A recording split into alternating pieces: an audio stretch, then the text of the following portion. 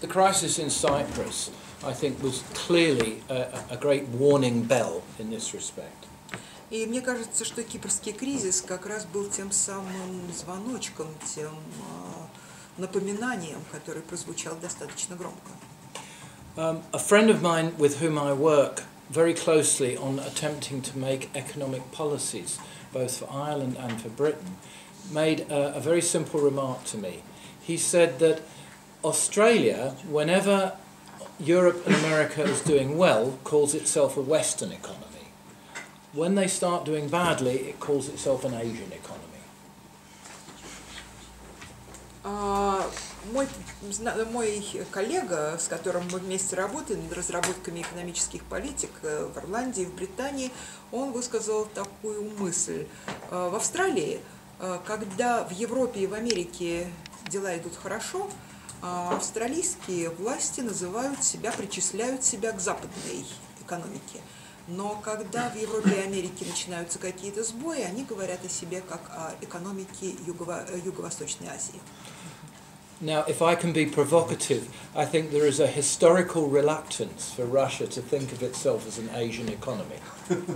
А, Я хочу выступить с несколько провокационным заявлением. По-моему, исторически Россия всячески устраняется от того, чтобы именоваться азиатской экономикой. But if Australia can do it, why can't Russia? Но если Австралия может себе такое позволить, то почему бы и Россия этого не сделать? So I work with Radhika on our book series, The um, Future of World Capitalism. And so I'm going to throw some books around as well. You see, they all look the same. You'll recognize them in the shops. And the very first one was called The Birth of Capitalism. And it was about the French Revolution. А Мы с Радикой совместно работаем над подготовкой серии книг, а вот, как видите, они все сделаны в едином стиле, их очень легко узнать э, на полках магазинах. Первый из них называется «Рождение капитализма». Э, Речь идет о Великой Французской революции. Unfortunately, we haven't yet written the book The Death of Capitalism, К сожалению, пока мы еще не написали книгу «Смерть капитализма», because this is a work of joint authorship.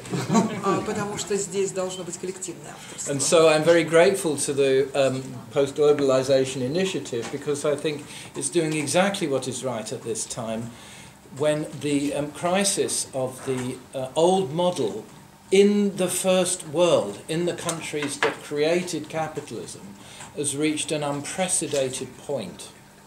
И поэтому я очень благодарен инициативе постглобализма, исследованию постглобализма, потому что, на мой взгляд, они делают очень важную, очень своевременную работу. Сейчас, когда в развитых странах э, кризис достиг беспрецедентного уровня, So this, this creates terrible dangers, but a very immediate need. А, возникают и очень существенные угрозы, но и явные потребности.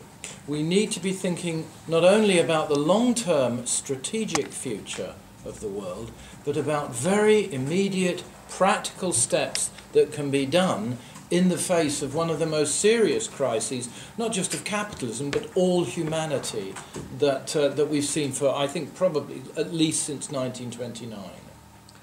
А, Потому что сейчас нужно разрабатывать не только какие-то долгосрочные стратегические планы, но и определять для себя немедленные тактические решения, потому что а, человечество сейчас сталкивается, может быть, с самой существенной и важной угрозой, с самым существенным а, изменением ситуации с момента Великого кризиса 29 года. So the, the funny thing is, the policies that you need are surprisingly easy to outline. They're not difficult. Самое забавное, что очень легко описать, что на самом деле нужно делать. Ничего сложного нет. You need to use your state and your government. Нужно использовать возможности своего государства и своего правительства. You need to spend massively, not just little bits of stimulus, but at the same sort of level as the United States when it brought the United States out of the 1929 crisis, in which the United States of America spent, the government spent 48% of GDP. А, Нужно действовать примерно так, как в 29 году действовало правительство Америки, когда ему нужно было вытаскивать страну из Великой депрессии, и они на решение этих проблем потратили 48% от своего ВВП. That's what got the United States out of the crisis in the Именно 1929 таким образом в 29 году Америка вышла из кризиса. These are the people who now tell you that if you spend more than 30% of the GDP, you're actually going to go into debt and your economy will crash.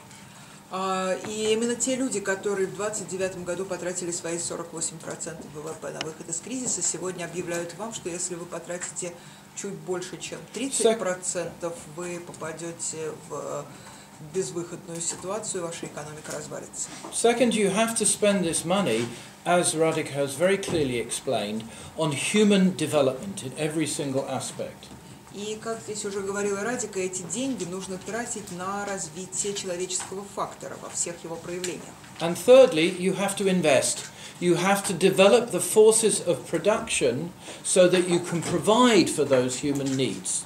И в-третьих, необходимо инвестировать, развивать э, производительные силы с тем, чтобы э, можно было э, вот эти, этот самый человеческий фактор обеспечить. What I have called and others have called investment-led growth. Я называю это ростом на основе инвестиций. Насколько я. Others. Не So только я, нет, не только я. the policies are very simple. So I, I will finish on this point. The point is, why is it therefore so difficult? Э, Итак, почему же это так сложно? It's because of the, f- the, the power of the forces opposing it. А потому что этому идет очень мощное противодействие. But this power is now coming to an end. We are now in the seventh year of this crisis. Но кризис идет уже седьмой год, и силы сопротивления иссякают. So we can act and we have to act. And acting is both about understanding and books, and it's about assembling the social forces which really can, in a situation probably of the greatest weakness of those that we oppose, actually bring that into being. А, И именно на этой вот э, самой слабой точке э, развития э, этой системы а, появляются силы, которые могут запустить новый механизм. But one last point we can't do it the way the United States did it because they did it in 1942. They did it by gearing up for a war. They, they spent the money. Oh. When the United States got out of the crisis, it was through the war. А, И последний момент, кача- которым я хочу сказать, мы не можем воспользоваться той моделью, которая привела в 1942 году э, к успеху Америку, потому что их э, рост был во многом завязан на развитие военной промышленности в разгар войны. We have to develop the human based alternative because if we don't, then sooner or later they will not continue down the neoliberal line. Forces will come in, and there are anti neoliberal forces which are very destructive. You only have to look at the rise of the Greek fascists and think what happened at the end of the last such crisis. If we don't put that solution forward, such forces eventually will arise, and it will no longer be neoliberalism we're fighting, but something much more frightening. И э, при этом мы э, должны иметь в виду, что э, на фоне развивающихся событий, вспомните, что, чем кончился предыдущий кризис, тогда к власти пришли фашистские силы, и сейчас тоже начи- налицо рост крайне правых тенденций. Поэтому, если это произойдет, нам придется бороться уже с неолибера... не с неолиберализмом, а с чем-то гораздо более страшным. Спасибо.